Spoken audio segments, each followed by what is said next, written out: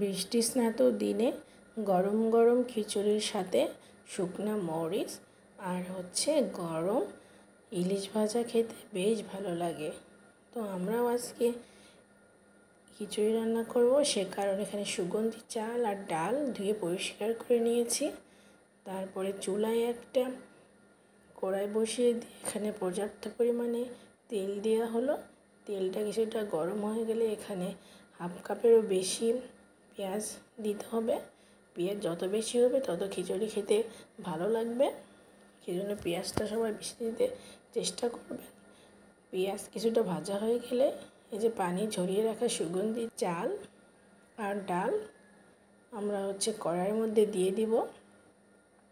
পেঁয়াজ আর তালের সাথে চাল, ডাল ভালো করে ভেজে নিতে হবে। যত ভাজা হবে, তত খিচুড়ি খেতে সুন্দর এবং সুস্বাদু লাগবে। বৃষ্টি হলেই কে কে আমার মতো খিচুড়ি খেতে পছন্দ করে অবশ্যই কমেন্টে জানিয়ে দেবা। আপনাদের একটু বাইরের দৃশ্যটা একটু দেখায়। কত সুন্দর পরিবেশ। প্রকৃতি তো এমনিতেই সবুজ সুন্দর। আর তারপরে বৃষ্টি হওয়ার পরে মনে হয় সবুজটা দ্বিগুণ হয়ে যায়। দেখুন বৃষ্টি পড়ে সব কিছু ভিজে। কি সুন্দর হয়েছে পরিবেশটা, প্রকৃতিটা। চালটা কিছুটা ভাজা হয়ে গেছে। এখন এখানে দিয়ে দিতে হবে মশলা। এখানে দেওয়া হলো রসুন বাটা, তারপর দেওয়া হলো হচ্ছে জিরা বাটা।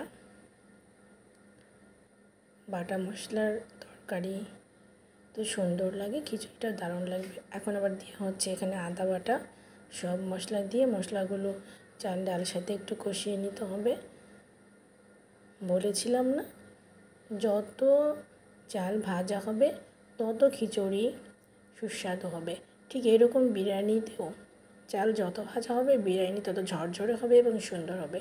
বাস তারপরে আমরা যে পরিমাণ জাল দিয়েছিলাম, ঠিক তার ডবল পরিমাণে পানি দিতে হবে।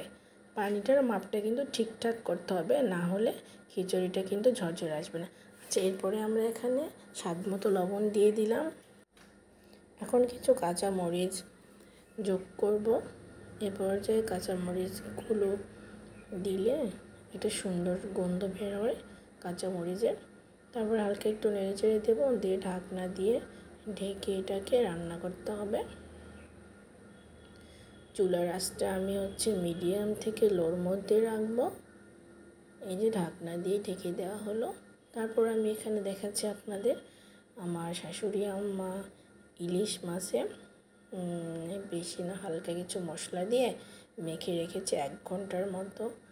এখন এই কড়াই দেওয়া হলো আর একটা চুলায়, তারপরে কিছু তেল দেওয়া হলো। আর এখানে দেখুন আমার শাশুড়ি আম্মা আবার সেই ইলিশ মাছগুলো মশলার সাথে একটু মেখে নিল। মেখে নেওয়ার পরে তো তেলের মধ্যে দিয়ে দিল মাছগুলোকে ভাজার জন্য। ইলিশ মাছটাকে সুন্দর করে ভেজে নিতে হবে। একটা একটা করে সব মাছে উনি দিয়ে দিচ্ছে। কত সুন্দর দেখাচ্ছে মাছগুলোকে। মাছগুলো ভাজা হোক, আর এক চুলায় যে খিচুড়ি রান্না করতে দিয়েছি সেটা একটু দেখে নিই। এই তো পানির বলক এসেছে, পানি অনেকটা কমে গেছে, এখন চুলার নাচটা একদম লো করে দিতে হবে। আমার মাছের একদিকে ভাজা হয়ে গেছে, এগুলো এখন উল্টাই দিতে হবে। উল্টাই দিয়ে এদিকেও ঠিক সেরকমভাবে আমরা ভেজে নেব। এই দিকটা খুব সুন্দর করে ভাজা হয়েছে। সবগুলো ইলিশ উল্টিয়ে দেওয়া শেষ করে এগুলো আমরা ভাজার জন্য রেখে দেব লো থেকে মিডিয়াম আঁচের মধ্যে। তারপরে দেখি যে খিচুড়িটা একদম আমাদের হয়ে গেছে।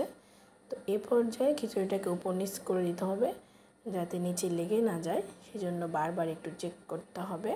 খিচুড়িটা আমরা ঝরঝরে করব সেই জন্য একটা ভাপে রেখে দেব। বিশ থেকে তিরিশ মিনিটের জন্য। ঢাকনা দিয়ে ঢেকে রেখে দিলাম। তারপর আমাদের ইলিশ ভাজা হয়ে গেছে। এখন এটা একটা বাটিতে তুলে নিব। ইলিশ ভাজাগুলো খুব সুন্দর হয়েছে না? অনেক মুচমুচে না হলেও খুব সুন্দর হয়েছে, দেখতে সুন্দর লাগতেছে। দেখুন আমাদের খিচুড়িটা কত সুন্দর হয়ে গেছে। এখন হচ্ছে পরিবেশন করা হচ্ছে।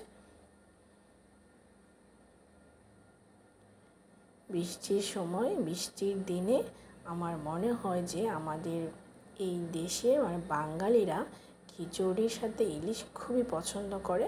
আর যারা হচ্ছে ভোজন রসিক, ভোজন করতে পছন্দ করে, তারা যদি এই গরম খিচুড়ি আর গরম ইলিশ পায়, তাহলে প্লেট ভর্তি করে প্লেট ভরে ভরে খাবে, চেটে পুটে খাবে। খুবই মজার হয়েছে এবং সুস্বাদু হয়েছে। আর যে যেখান থেকে আমার ভিডিওটা দেখছে, অবশ্যই একটু সাবস্ক্রাইব করতে। ভুলবেন না। সবাই আল্লাহ